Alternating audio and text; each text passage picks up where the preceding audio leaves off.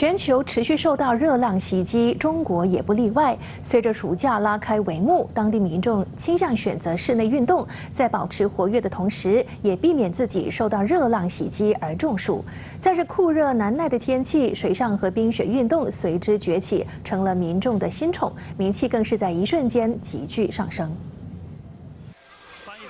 中国进入暑假之际，深圳的气温因为受到热浪来袭，维持在摄氏三十度以上。对此，民众倾向于选择室内运动，在保持活跃的同时，更能确保自己不受热浪影响而中暑。深圳游泳跳水馆就看准了暑假期游客到来的商机，一连开办了许多游泳和跳水的短期课程，吸引了不少民众和游客前来报名参与。目前参加暑假短期班的学员大概是八百人左右，应该在后面的八月份还应该有一个小幅度的增长。今年啊，大概比去年的人数能多了大概百分之四十左右。此外，滑雪也成了民众另一个消暑的热门运动。坐落于观澜湖的卡鲁冰雪世界滑雪场，更是在暑假期间吸引了大批人潮前来进行滑雪运动。自暑假开始以来，滑雪场的访客次数在每周增加了四倍，而周末的访客量更是上涨了八倍。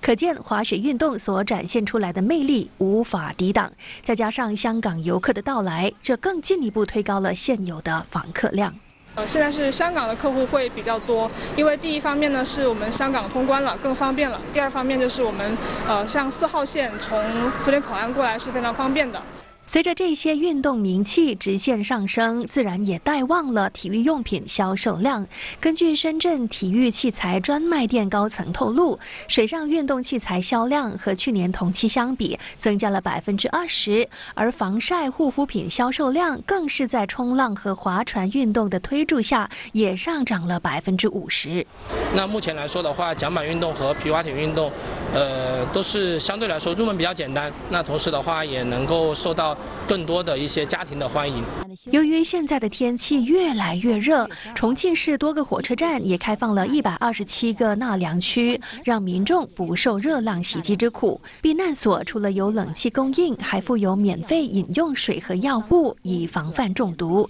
铁路员工则是不畏惧热浪，对铁轨和电缆进行保养工作，以避免发生任何突发状况，影响了整个铁路的运作。当地气象局表示，重庆近日的气温一度达到氏三十七度，预计会在未来几个星期内持续上升。对，香雨。